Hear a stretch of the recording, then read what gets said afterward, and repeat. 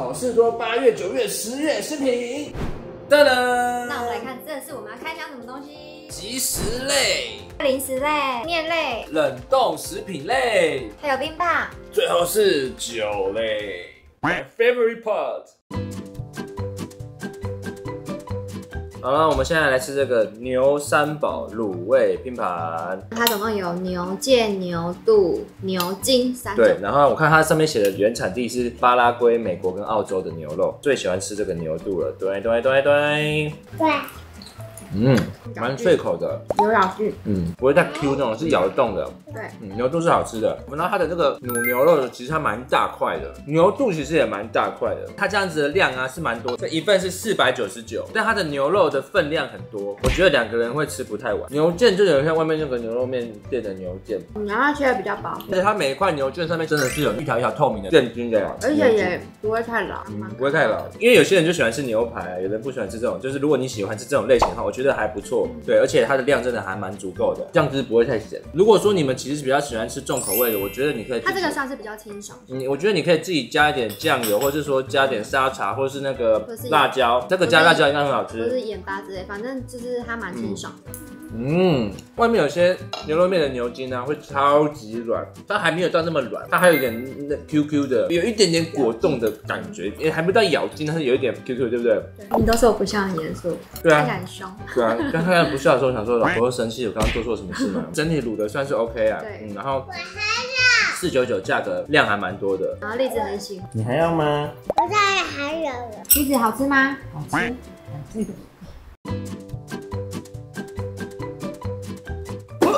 啊，再来是我们这个来自泰国的泰脆泰式米饼，好像是泰国这个传统的国民点心。这一盒有两种口味，一个是写冬阴功味，一个是蟹咖喱味。冬阴功味就是泰式酸辣虾风味，它的包装也还蛮泰式的，先是不辣的，嗯。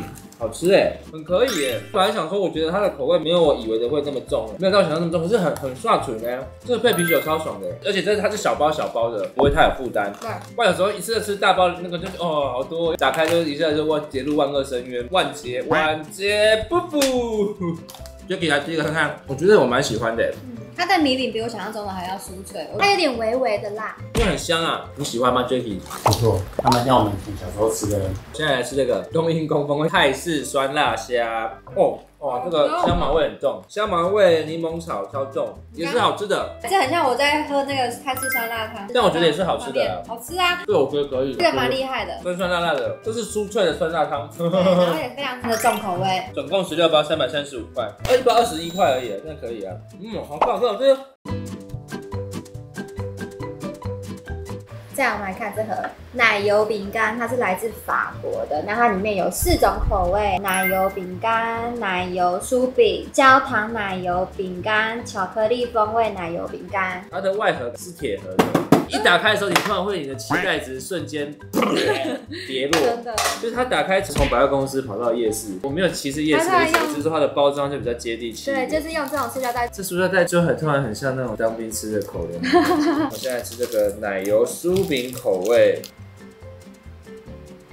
奶香味很重啊，嗯它就是很蛮酥脆的，很经典的奶油酥饼的感觉，就是它是好吃的那一种，没有到很惊艳的，它就是好吃的，就是就是你会喜欢吃的那种。巧克力也不错啊，都不会太甜，它都不会让我觉得太甜。我最喜欢是焦糖口味的那种，再来就是奶油饼干，然后再巧克力。我必须说，我觉得它比我想象中的好吃一点，它的口感跟味道的期待跟包装的外观差不多，有一种传统妈妈的家乡饼干的感觉。四三九好像也不便宜哦，但是铁盒蛮漂亮的啦，吃起来还不错啊，吃起来可以啊。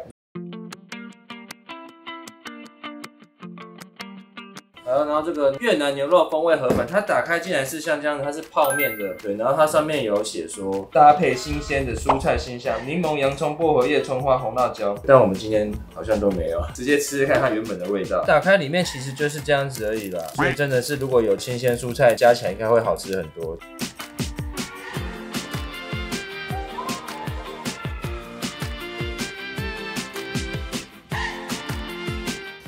再强调它是有建议我们可以自己加柠檬、洋葱、薄荷叶、葱花跟红辣椒。啊，我们今天因为家里只有柠檬，然后它不是用煮的，它是用泡的。你可以吃看它的面皮，我还蛮好奇它面皮吃起来的口感，因为它看起来还 OK。面皮有稍微比较偏软烂一点。但是我记得越南河粉好像有些吃起来都会比较软，嗯，蛮香的啊、嗯，汤口还不错，它的汤头是微辣的，但我觉得很刷嘴哎，就是一口一口就会就是想要，没有平常外面吃的那么的清爽。对，它不是那种清爽汤头的。然后我现在加一点柠檬，我们刚刚那是什么都没加的话，我是觉得还不错。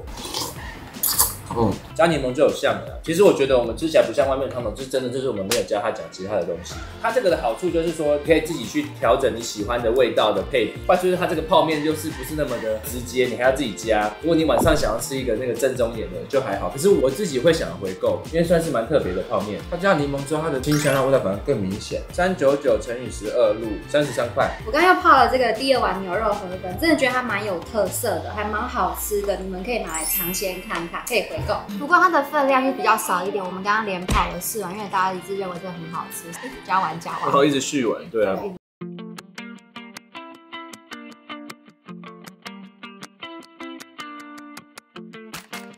现在来吃阿舍食堂的流心拌面，嗯，螺旋星芒面体它有一点。点卷卷的，然后我觉得他应该在讲他制作的过程，他特别有面体低温干燥，多段盐压，口感舒坦，不易软烂。酱料采豆瓣酱与芝麻油搭，然后它的豆瓣酱真的很香哎，你刚刚端过来我就闻到豆瓣酱豆瓣酱芝麻的味道。这个是煮八分钟，刚刚好而已。等于说它的面体的确吃得出来是很有口感、很有咬劲的，所以还可以让你去选这个时间，八分钟是刚刚好的熟，然后比较偏硬，它比较软就可以这个，我觉得应该十分钟差不多，但是是好吃的啦。二八五除以十二，二十三块，面体是蛮好吃的啦。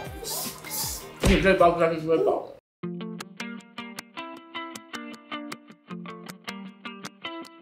好哟，那我们现在要来吃这个 CJ 冷冻番茄蒜香披萨，然后它也是来自韩国的，然后它是微辣。那它的中文的翻译呢，只有写这个气炸锅跟微波炉调理的条件，这两个应该算它的特色，可以用气炸锅跟微波炉。但因为我们用烤箱比较方便，它的韩文原文是有可以用烤箱的时间。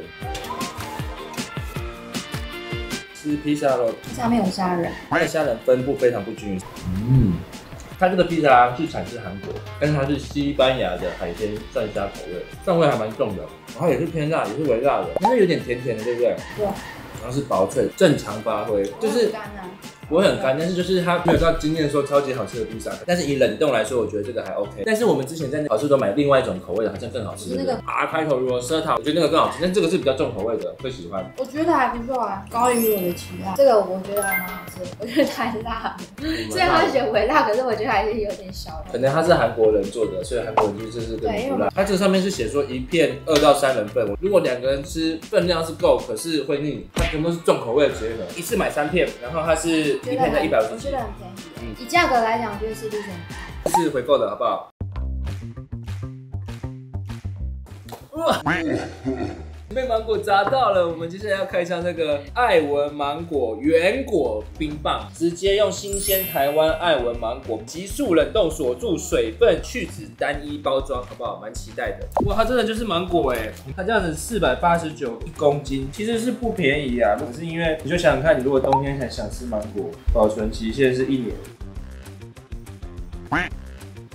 好夏天的感觉，哇！我一瞬间就来到了夏天了。应该知道夏天我们要去海边，但它没有我想象中的甜。我很好奇，因为它这种原果冰棒，理论上每一只甜度都不一样，你那只跟我这只感觉颜色就不太一样哦，味道应该会不太一样。像这只感觉就比较甜，这支好吃很多哎，因为它就是它就是原果啊。对，因为它就是新鲜。默默地把你的还你，不这是我的，那是自己开的。因为它是急速冷冻，所以它其实还是有一点果肉的口感，觉得好吃吗？我觉得不错啊，因为我还没应该吃，它是不便宜啊，一支五十块。可是如果是冬天的话，你想吃芒果的话，就是蛮爽的啊。所以不在不考虑价格的情况下，我觉得我是会回购啊。我也是。好了，我们现在来吃这个冷冻炸鱿鱼，它的产地是韩国。它有特别的地方是写说采用完整鱿鱼中段后切制成。哦，真的很长哎，各位，鱿鱼中段是这样子的呢，金价比较零卡多呢，高明赶快的，跟我想象不一样。我本来是那种鱿鱼角，它是鱿鱼中段，它是可以用气炸或是油炸，那我就用气炸，一百八十度九到十分钟。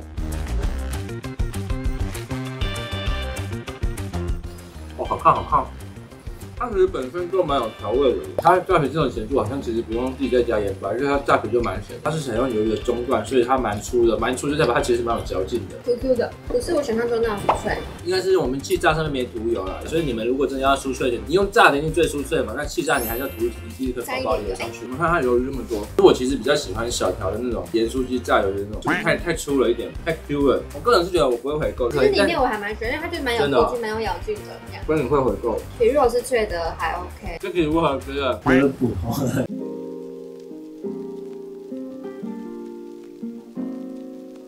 那呢，我要追求一下生活中的仪式感。大白天喝个酒。我们现在喝的这支是 Bernini 微甜气泡白葡萄酒，然后它是产自南非。首先呢，我觉得这个还蛮适合买回家喝的，它十二瓶七九九。如果说你们家人的酒量其实没有很好啊，你不用说一次六百 CC 的那个香槟就一次要嗑到光，像这个一瓶两个人喝就完全没有负担。那当然对我来说，这一瓶就是就是没有这样子。但是跟老婆喝酒就是开心。这个酒应该算是美酒，很好喝哎，很顺很顺哎，而且它不会太甜。它的甜跟其他酒比还是算甜的。它是比较偏甜，可是就是它的甜不是到那种很甜腻啊，没有到，但没有像贵腐酒那么甜啊。然后它气泡很舒服，它的麝香葡萄味道很香哎，很顺，好喝哎，四点五趴。它的酒标其实我觉得也还可以，还有那个味道有柑橘、荔枝跟麝香白葡萄的味道。还有香甜蜂蜜的味道，蜂蜜味道我觉得有一点点。它写说适合配炸物、辣味菜肴，但它的气泡不是那种很细致的颗粒，比较粗一点，但是不会到太呛的气泡，刚刚好，好喝，好喝吧？它比那个粉红气泡酒好喝。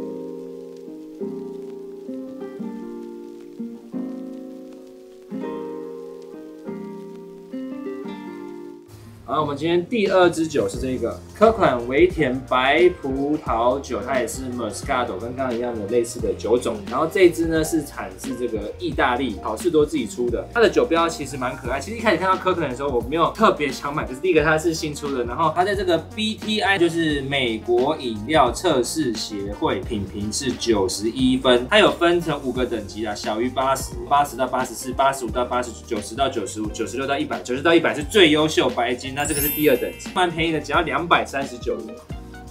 你这个比刚刚那个还要甜，嗯，也是很顺，但是就是甜很多，然后气泡没有那么多。